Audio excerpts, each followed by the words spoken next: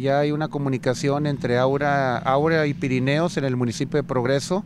En el norte del estado hay un camino estatal que es el Remolino, que une la carretera que va de Acuña a Zaragoza con la de Acuña a Piedras Negras. Es una transversal que va a unir ambos, eh, ambas carreteras. Lunes en el municipio de Viesca, entregando la carretera Tejabán-La Rosita, supervisando la carretera Viesca-Parras, que este año ya concluye y además eh, pues seguimos avanzando en el libramiento San Buenaventura Hermanas, en el, en el eje carretero más importante en este momento que estamos construyendo, que es la San Pedro Cuatro Ciénegas, para poder acercar al norte con el estado. Eh, traemos contemplada ya la, la, carretera Piedras Negras Laredo en su tramo de primera etapa, lo que es la Piedras Negras Guerrero. Estamos concluyendo la vía Escaparras, la Musquis-Ojinaga.